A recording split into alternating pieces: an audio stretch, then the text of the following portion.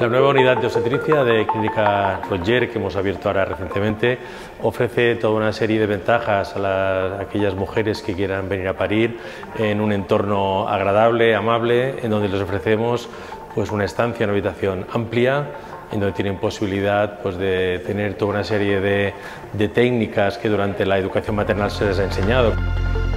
Contamos con una bañera para la dilatación, y además contamos con una experiencia pues, eh, sensorial a nivel de, luces, eh, de aromas. Eh, todas las habitaciones tienen vistas al exterior, favoreciendo la, luz natural. Damos todas las ventajas para que la madre y el recién nacido, desde el momento de, justo después del parto, mantengan esa unidad y ese vínculo que han mantenido durante pues, casi nueve meses.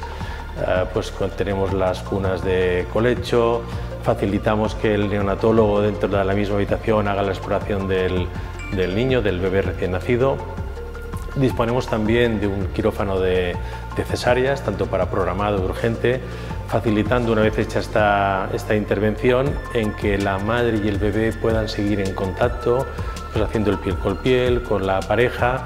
y esta es la única REA de, que se dispone la sanidad eh, privada para poder hacer ese tipo de, técnica. Al mismo tiempo también contamos con una unidad de reanimación específica para el recién nacido, atendida siempre por un neonatólogo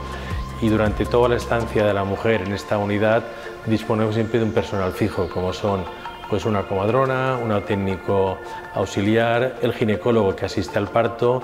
y siempre un pediatra, un neonatólogo en el momento del nacimiento del, niño para garantizar que todo está correcto y para hacer una primera asistencia en necesidad de, urgencia.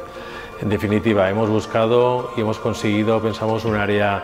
eh, muy agradable, muy que, las gestantes recuerden el parto pues como si casi lo hubieran tenido en su domicilio, con todas las comodidades y facilidades a la hora de tener, a la hora de tener su hijo.